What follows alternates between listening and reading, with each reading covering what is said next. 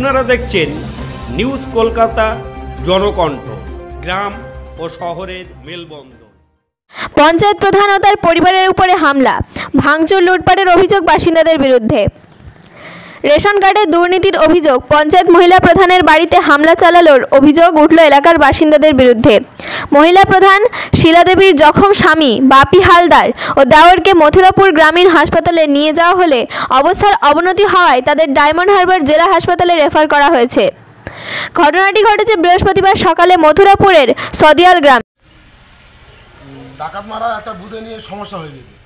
ডাকাত মারা বুধে সমস্যা হয়েছে, রেশন কার্ডে নিয়ে প্রবলেম হয়েছে, সেই জায়গা প্রধান সে দায়িত্ব আছে সেই জায়গা।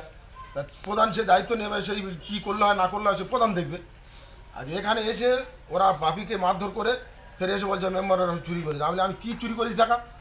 যে যা জিনিস এসছে প্রত্যেকটা ডেকে, কর্মীদের ডেকে আমি প্রত্যেকের হাতে তুলে দিয়েছি। তাছাড়া আমার এক বিন্দু আমি জিনিস ডাকি না।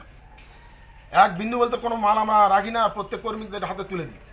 আজকে হচ্ছে হঠাৎ ওই গন্ডগোল করে ডাকাত মারা গন্ডগোল করে ওরা ডাকাত মারা থেকে কৃষ্ণনগর থেকে আমাদের কাটান দিক থেকে টোটাল লোক বিরোধিতা লোক তারা এইসব লোক গোষ্ঠীগুলো গুলন করে তাদের ডেকে নিয়ে বাবির ঘর চড়া হয় মারধর আহ, সেই রেশন কার্ডগুলো নিয়ে ওর বুথে কাটামদিঘির গ্রাম তিনটে বুথের রেশন কার্ড নিয়ে ওর বুথে দিয়ে দিয়ে নামগুলো কেটে পেন্টু করে পেন্টু করে দিয়ে দিয়েছে। সেই নিয়ে ডাকা কাটামদিঘিওয়ালারা বলছে যে আমাদের বুথের রেশন কার্ডগুলো ডাকাত মারাওয়ালারা পাবে কেন? এই বলে ওরা ডাকাত মারা ইয়ে, কি বাবির বাড়িতে গিয়েছিল। বাবির বাড়িতে যাওয়ার পরে ওরা ওখানে একটা হল্লা করে যে আমাদের রেশন কার্ডগুলো বাপি কেটে কেন তুমি আমাদের ডাকাত মারাওয়ালাদের দিলে? এই দুদিন আপনার হাতে কি করে এই আ, চোটটা হলো? এইবারে ওই লোকগুলো আবার ছুটে আমাদের এখানকার মেম্বার গোলাম গাজী গোলাম গোলাম গাজী গোলাম রসুল গাজী ওর বাড়ির দিকে যাচ্ছিল এবার বড়বাবু যখন থানা থেকে শওকত গাজীর কাছে ফোন করে যে, আপনি এলাকাটা দেখুন, এই অসুবিধা হয়েছে গণ্ডগোল হচ্ছে, আপনি এলাকাটা দেখুন। তো তখন গাজী সাহেব বললেন যে, আমার নাম কালাম আমি উনি আমার শ্বশুর আমি যাওয়ার এবার দেখো দেখি, বলি, কী ব্যাপার, গণ্ডগোল করছে কেন? বলে, আমি ছুটে গিয়ে দেখি না, এরা যাচ্ছে, আমি তাড়াতাড়ি করে গিয়ে মাঝে দাঁড়িয়েছি। দাঁড়িয়ে বলি, বাবা, তোরা থেমে যা, সরে যা, এদের বলছি, তোরা আজ যাসনি। তোরা তো প্রধানের কাছে জানিয়েছিস, নিশ্চয়ই একটা ব্যবস্থা হবে। সে বলার সময় দেয়নি। মেম্বারের সেজ ভাই গোলাম রব গাজী, ওর নাম গোলাম রব গাজী, ও কুড়ুল নিয়ে এসে আমাকে, আমার উপরে কোপাতে চেষ্টা করেছিল। পিছন থেকে ওর ছোট ভগ্নিপতি একটা ছিল সেই কোমর ধরে ফেলেছে, আর আমি হাতটা ধরে ফেলেছি, আর এই কোপটা এসে এই জায়গাটা লেগেছে। পুলিশ ও স্থানীয় সূত্রে জানা গিয়েছে, মথুরাপুর এক নম্বর ব্লকের কৃষ্ণচন্দ্রপুর পঞ্চায়েত প্রধান শিলা হালদার ও তার স্বামী ওই ব্লকের যুব নেতা বাপি হালদার সাদিয়াল গ্রামের বাড়িতে ছিলেন। এদিন সকাল সাড়ে নটা নাগাদ আচমকা জনা পঞ্চাশ স্থানীয় বাসিন্দা লাঠি লোহার রড, কাঠারি নিয়ে ওই বাড়ি, ওই প্রধানের বাড়িতে চড়াও করে অভিযোগ দিল। শিলাদেবীর শ্লীলতাহানির চেষ্টা করে বলে অভিযোগ।